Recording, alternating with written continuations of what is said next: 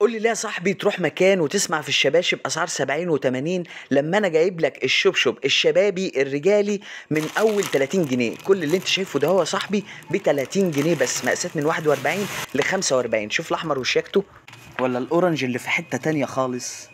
الأصفر برضو حلو والأزرق بقى رايق خالص خالص خالص. تمام؟ كل ده اللي أنتوا شايفينه هيبقى معانا بكام يا جماعة؟ هيبقى معانا ب 30 جنيه بس.